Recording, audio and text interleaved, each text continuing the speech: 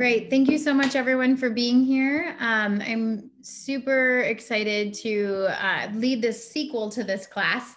So, for those of you that came last week and came back, thank you. And so, last week we talked about what the face tells you about your health. And we started to get into what other body parts tell you about your health as well. And so today we're going to do a little continuation on that because it is so much information. Um, and then at 12:30 we'll end and we'll come back for anybody that has Q&A. So I am going to pretty much just share my screen with you right away. And we're going to dive right in to facial recognition, tongue recognition, and nail recognition. So I'm just wanting to send this to one more person. Um, and we'll go. Okay, there we go. All right, so let me see if you can share my screen. Come on, Zoom. Oops, I've got some more people in the waiting room. Make sure I see them all. All right. So last week, if we do a really fast recap, we went over how your face can tell you about your health. This first picture is a um, what is showing a very stagnated thyroid gland and an iodine deficiency where the neck has widened. Um, the width of the neck actually will widen to absorb up nutrients that it's lacking, and you'll get this connective tissue, you know, weakness is a link to the thyroid and the parathyroid. I won't go deep into that because you can watch last week's replay. This is another example of when the thyroid is going bad, the face actually widens out and the space in between the brows becomes larger. Um, this is a tiny bit of iridology. We're going to go actually do a full dive into iridology next week with Rita and I. This person I'll go over because this person has many things that cover. Um, and so these deep lines in the forehead are heavy metal toxicity. And so heavy metal toxicity, um, gosh, there's so many people coming in. Hold on. Heavy metal toxicity is um, one of the biggest things that will interrupt the microbiome and the endocrine system. It'll affect the thyroid, the parathyroid, the, the liver, the pancreas. Um, the whole body will be affected by heavy metal toxicity. This line in between the forehead is a sign of a really struggling gallbladder right here, this deep line, this person has a lot of gallstones, a lot of parasites, which go hand in hand um, with heavy metal toxicity. When you have lots of heavy metals, you also have a lot of parasites going on. And so you have to cleanse the parasites and then you also have to cleanse the metals or they'll continue to come back. The deep dark lines on the inside of the eye that come down here is a sign of severe liver stress and liver stagnation. Puffy under eyes Puffy under eyes is not normal, very common, not normal, sign of severe kidney inflammation. So the kidneys are super inflamed. There's edema probably in other parts of the body as well, but the kidneys being um, under a lot of pressure will create puffy bags under the eyes. And then the darkness under the eyes actually is adrenal fatigue. And when it bruises all the way across like this, it's a severe sign of adrenal stress. Um, this person also is missing their eyebrows on the latter half of the eyebrows, and that is a sign of a thyroid that's going down. So the thyroid, the you know, the thinner your eyebrows are, the less your thyroid health is there, and your bone health. When somebody has really thick eyebrows, they have a really strong thyroid, really strong bone health. Um, but when we're losing that last outer half of the eyebrow, that's a sign that the the thyroid is going down. Um, so those are the main ones that I wanted to point out here. We'll move on and we're going to get back into, I'll, i touched a tiny bit on this um, last week, but the striations on the body that look like stretch marks are actually really heavily related to a B12 deficiency as well as Bartonella disease, which is Lyme's disease. Um, and this is when there's a severe depletion in the microbiome and it also prohibits your body from making B vitamins. So you can actually, these people actually give off a smell that mosquitoes love. So people with a really weakened gut, gut biome often get bit by mosquitoes a lot more than people that don't have a weakened gut biome. So B12 from whole food sources will help with that. But again, strengthening the gut and healing the gut at the root cause is going to be the answer to that um, these striations will just kind of come up and maybe not make any sense. Like I don't get stretch marks all of a sudden. This is actually a sign of a Lyme infection or a co-infection. Um, this right here, the dimple in the chin, which we see is like a genetic thing, right? So, what this actually is, is a very severe level of generational malnourishment. So, this comes along with a huge microbiome imbalance um, somebody like this is generally struggling with anxiety, depression, potentially even bipolar disorder. Um, usually, a lot of mental health stuff when you're when it's this severe. Not everyone, but it's really common to see more of these things coming up in a family lineage where they have the dimple in the chin. Um, and that's also going to come along with digestive issues. A lot of eating disorders are found in people with this um, level of malnourishment as well because of the malnourishment. The body is, you know, either craving, you know, to overeat or um, you're not getting the right nutrients. And so it can develop into disordered eating in some people. But we do see a lot of mental health issues with people with the with the dimple in the chin. So whether it's anxiety or depression or just feeling blue, but it comes along with a very depleted, is a very large microbiome imbalance. This person is most likely struggling from leaky gut, low hydrochloric acid in the gut. There's a low level of bacteria in the gut, healthy bacteria that's not communicating with the brain properly. And then when we get into deep levels of malnourishment, we also have to look at the health of the pancreas. And the pancreas is the main digestive organ that's responsible for secreting insulin and amylase and digestive enzymes to break down your food.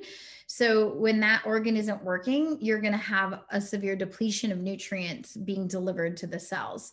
So there's two things involved here, generally speaking, the pancreatic health, and then also very much so the microbiome. Um, other signs and symptoms that you will have a pancreatic imbalance is undigested food in your stools, um, lots of gas after you eat, um, having moles on your body is another sign of pancreatic weakness. Moles are the sport which a fungus feeds, and it represents a poor ability to properly metabolize starches and sugars. Um, and then, you know, a couple of the other signs, um, the gas after you eat, always, Dr. Morris always says the greater the gas, the greater the weakness. So if you are properly food combining and you always have had gas, we have to look at the pancreas. Um, moving a little bit deeper. So this is um, showing like the gray hairs coming out here. This is a vitamin E deficiency.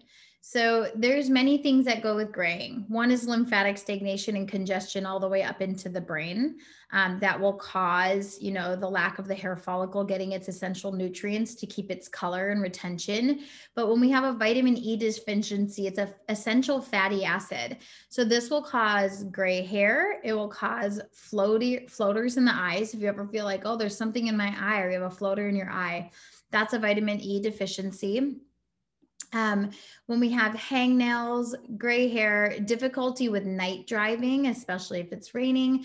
So we need to get plant sources of vitamin D, vitamin E, excuse me, um, like avocados, some seeds or nuts, and olive oil. If it's only if it's like a cold pressed, and this would be when you're in a deficient state. We don't encourage a lot of oils in general um, because they are heavier on the liver and gallbladder. But I would look for some plant sources of vitamin E, or even taking, in this case, I would take a vitamin E supplement that was from a whole food source.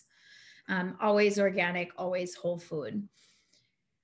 Um, okay, so um, I'm going to go here. I, this got put in the wrong spot. I'm gonna just move that. So we're gonna go back to the to go to the tongue here. So this um, is what's called a geographic tongue. We touched on that briefly last week. Um, it actually is also called as migratory glossitis, um, benign migratory glossitis, which is BMA. It reflects a severe B vitamin deficiency in the gut, and it will actually create these like little cuts on the tongue and little like striations that make it look like this. So we need to really focus on B vitamins. You can get lots of B vitamins from your plant foods. Um, and if you're on our superfoods, or like the Epigenius Kids has an extremely high amount of B vitamins in it. You can also get B vitamins from nutritional yeast. Um, you know, this isn't a, the greatest source because that is a fungal source, but in an acute state, I would use this to get the B vitamins back online. Um, scallops, if you see the sides of the tongue here, the scallops in the side of the tongue actually represent an inefficient deficiency in iodine. So a severe iodine, the tongue is really interesting. The tongue will actually expand and grow and move forms when when it's deficient on nutrients. So a widening of your tongue is a, a sign of essential mineral depletion. The scallops in the side of the tongue is when um, the tongue doesn't when the body actually doesn't get what it needs the tongue grows. And so he needs iodine which is a, a perfect balance actually for this person would be a balancing um like have Lugol's it's a brand but it's a balance between iodine and potassium. Now i want to dive into this because i don't want you running out and putting yourself on iodine because you can hurt yourself it's not safe. You should be working with a practitioner. Um, but the general rule is you need to start with two weeks of a half teaspoon of Celtic gray salt. So Celtic gray salt, about 200 microgram, and then about 200 micrograms of selenium. And selenium is coming um, from your Brazil nuts. So getting an organic raw Brazil nut, about two Brazil nuts is kind of all you need, and at maximum eight Brazil nuts. And actually, you'll know when your body has reached its selenium needs. Like, say you're taking two to eight Brazil nuts a day, and then all of a sudden, one day, those Brazil nuts start to taste like cardboard. You are good. So that's a really interesting way to go about it. I wouldn't overeat your selenium either. So just stick in that two to at maximum eight Brazil nuts a day. Must be organic or you are consuming glyphosate. It's a really important piece. So um, you can find Celtic gray salt online look it up find a really organic source. I mean organic is just obviously you can't really like certify organic salt but um, celtic gray salt the colored salts are your essential mineral salts. And most of what people are experiencing is a depletion from minerals. Now the underlying root cause of this mineral depletion is the health of the adrenal glands. So i do want to make note that this is a temporary solution to a deeper problem so we need to heal the adrenal glands and we need to get the thyroid back online and rebuild the gut microbiome. But if you are in an acute state and you're dealing with a lot of these issues, a half a teaspoon for two weeks of Celtic salt and 200 micrograms of selenium a day is what I would start with. Um, and then you can start to add um, trace minerals or ionic selenium. Um, but after two weeks, you'll actually start with one drop of iodine. Now you can over iodine, you can do, overdo iodine. Um, they used to use radioactive iodine in Graves' disease um, to kill off the thyroid. So you need to be working with somebody is my highest recommendation. Um, and we don't want to kill off your thyroid. But if you start with like one drop of iodine every three days, so you would just do a drop. Um, and then in the presence of iodine, when we have iodine, in our body, like actually in its most like abundant levels, like parasites, cancer, fungus, it can't live. So this is really, really powerful to get this level of health in your body, but you need to do it properly. Um, but you need to be careful as you're microdosing iodine. If you start to wake up with congestion in your throat or coughing or clearing mucus, you actually do need to slow things down. Um, that's a sign of the iodine is too high. Uh, and you will pee out iodine. Your iodine levels will be higher in the urine as you are supplementing it because it is um, your body is getting rid of what it's not absorbing. Now, last week, um, I think it was Karis had asked about the nails. This is what she was talking about the nails having this crack down the middle and these striations through here, this dark colors. This is a very sick person. Um, and so this is another sign of severe malnourishment, the crack down the center of the nail. This is the nail. This is actually reflective of in, internal intestinal damage. And so when we have a lot of GI issues and malnourishment, we'll see the crack down the center of the um, nail.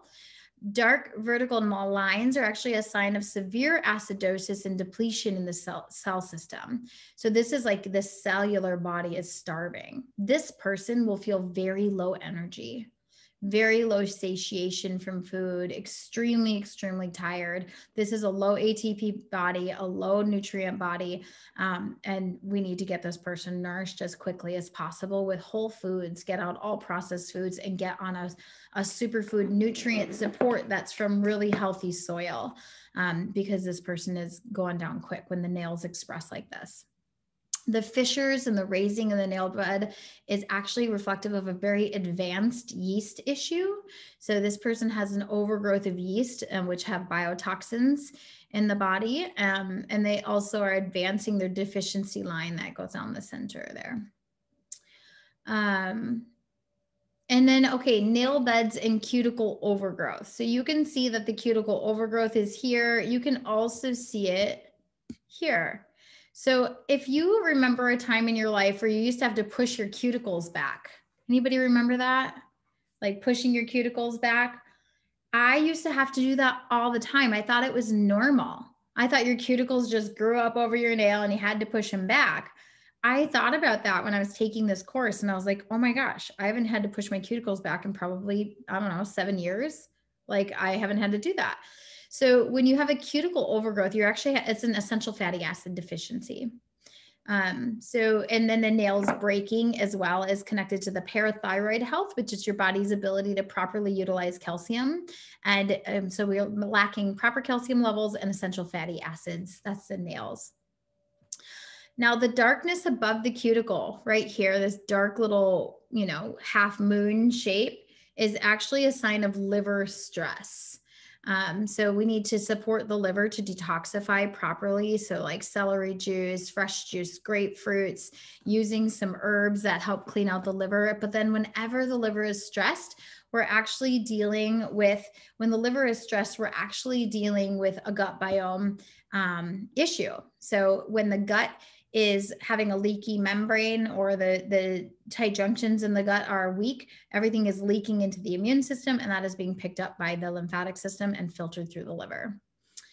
Um, the white spots on the nail is an or is iodine deficiency, and then ridges on the fingernail equal a calcium depletion and parathyroid weakness. So if you move your hand from side to side and you feel ridges, it's not perfectly smooth. That is a parathyroid weakness curvature of the fingernails is um, actually a severe level of heart stress. Um, hawthornberry herbs and foxglove herbs will help a lot with supporting the heart, but this is a pretty pronounced uh, version of it. And a severe vitamin B deficiency in the gut. Um, very pale nails. So you see how this nail is really pale, represent a zinc deficiency um, darkness on the top of the cuticle again is liver stress and then redness around the cuticle. So we've got redness here if you see this around the nails and then we got redness around the knuckles. This is a yeast issue. So they have an overgrowth of yeast in the body. Cracking on the heels a lot of people have cracking on the heels. Cracks in very dry heels actually represent a very advanced yeast in the body. I used to have this so bad. I thought it was because I waitressed all the time and worked a lot. I had dry, dry feet, dry skin, but I had severely cracked heels. Um, I haven't had a cracked heel in, I don't know, six years. Um, but cr- this is a very advanced yeast in the body. It's also an essential fatty acid deficiency. Um, some helpful tools in an acute state, if this is painful, is you can actually sand this down with like a file um, and really use some coconut oil to hydrate the area. And then internally, you can take even evening primrose oil to help with that fatty acid deficiency. And then you should get on a parasite cleanse for sure, a fungal cleanse. Um, use some microbial parasite herbs and some some fungal herbs to get rid of the cracks in the heels. Um, I would do two to three tablespoons of primrose oil daily. Um, yeah, and then also do the internal work to cleanse candida. Now, this, I remember having this as a kid. I remember my parents thought I got burned when I was little, like a sunburn or a chap, ch- really chapped lips that went up. This is mold toxicity and yeast overgrowth. And I was like, as I was doing this course and preparing to teach you all, I was like, oh my gosh, you guys, like so many of these things I had as a kid, and our body is, is screaming at us. But Mold toxicity in yeast overgrowth to a severe level. This is a very sick child. Um, the presentation of the burn on the upper lip um, I would recommend a homeopathic remedy of China. It's called is 200 C's. I would do this every single hour to flush the liver until this started to fade. Homeopathic remedies are extremely safe. Um, you can find them at your co op. If you can't find them at your co op, some of these more difficult ones, you need to contact a homeopath. They will get it ordered for you. Um, if you need a homeopath, I can refer you to a great one here. Um, and this will flush the liver toxicity and help with the regeneration and getting rid of the mold. The liver is overwhelmed. Whenever we have liver issues, we have skin issues. Liver and kidney always present through the skin. Um, and then the redness on the top of their lip is a yeast overgrowth. So we've got yeast and mold here pretty bad. Now, this is disgusting. This next one, I'm trying to cruise because we got a lot to cover. This is a severe level of thrush. We've seen thrush in our babies. Um, this is an extreme presentation of pronounced thrush. It's a severe overgrowth of yeast where the good bacteria in the gut um, are actually gone. And there's over 250 yeast strands of candida. And these candida have taken over and they live in the gut and they're actually considered opportunistic bacteria or opportunistic yeast which means that they actually change form. So they'll change their shape to meet the environment that they're in. They actually start usually like really small and circular circular and then they'll move like really oval and long like almost like the shape of a hot dog would be. Um, and they will move and actually stretch themselves out into rod like shapes that actually grow tentacles and they exhale around 176 toxic gases. So, candida is super biotoxic for your body. Um, you need to take care of this. Stop feeding it. Get off processed foods. Get off of meats. Get off of fungal foods, which are your sugars, your dairies, and your grains and your eggs. Actually, um, you want to get off these foods as soon as possible and get on whole plant foods. I actually, in this level pronounced thrush, I would get on microbial herbs right away. I would be on, you know, a parasite M or a super cleansar herb. Um, and then I would start with green juices in this case before fruits, even though fruits don't feed fungus. In this specific case, is very pronounced. Um, I would be doing celery juices. I would be doing, you know, celery and dandelion and, um, you know, all sorts of different herbs that you could do. Um, yep. Okay. Moving on. Ooh, there we go. This person is also dealing with, um, hold on. I think people are having trouble getting in. So let me get in here. There's Autumn. Okay. Okay, no one's in the waiting room now. So um, this person here is actually having a severe thyroid issue. The face is really widened out, the nose is spreading out, a lot of inflammation and roundness in the face. This is a severe weakened thyroid. Um, they probably need a desiccated thyroid at this point, um, which is a, called a glandular. It's coming from the gland of an animal, but it will help teach their thyroid how to function. It'll be much better than a synthetic version of that. Um, and Oh my gosh, this person keeps trying to get in over and over. Let me just check here to make sure this person is getting supported to get in. She's in. Okay, great. Um, so a desiccated thyroid would be the best support for this person for the time being and supporting with iodine and whole foods and cleaning up the gut because the gut regulates the pituitary gland, which is what regulates the health of the thyroid. Um, outside of that, we're going to move down here. This person here obviously has had a lot of face work. So um, we, there's some face work, but we have to look at this. Now, if you look here, and I'm going to move move all of you guys. I don't know if you see this, but um, we've got drooping in the face and we've got drooping in the ears, which I, I, can see now is not showing up totally. So I'll fix this picture. But when you see drooping ears and drooping in the face, there's actually a severe silica deficiency and a calc fluor deficiency calcium fluoride. So if you remember last week, we talked about calc fluor. I'll move up real quick. The calc fluor deficiency are these deep, dark creases in the eyes um, that we usually see it with children with high processed foods, glyphosate exposure, and high vaccination exposure. So when we have this level of deficiency, we start to get this deep crease in the eyes, and we're seeing it more in the new children as those deficiencies are being passed down generationally as well. Um, and then we start to see this as they get older, turning into the drooping. So this person also has the crease in their eye. They have the drooping underneath the neck skin, and there is drooping in this person's ears. So the drooping in the face, eyes, and extra skin is a calc fluor deficiency and a need for silica. Celery juice, asparagus, those sorts of foods are going to be really, really great for supporting the body to get back to the missing essential minerals that are um, that are lacking in the body. Now, as you know, our body stores certain things like our bones have calcium, our muscles have magnesium, and actually our sciatic nerves hold calcium and potassium. Um, and so when we are lacking on certain minerals or essential minerals in the body, your body will rob it from wherever it can and wherever it needs to. So supporting this person with some essential mineral tissue salts is going to be primary to get rid of the acute phase. And then we need to support the adrenal glands and eat a whole food plant-based diet to really get the body back online and be eating from really rich soils. I would recommend this person, you know, if they have, if you have the time, really grow your own food, eat from local organic farmers, um, get a micronutrient support. Obviously, we are working with the like some of the highest nutrient dense superfoods on the planet. Um, so I would get in contact with somebody that can get you connected with that if you're dealing with this. Um, but calcium fluoride is is actually classified. So calc fluoride, calcium fluoride is actually classified as cell salt number one. And the way this was found out is actually kind of gross.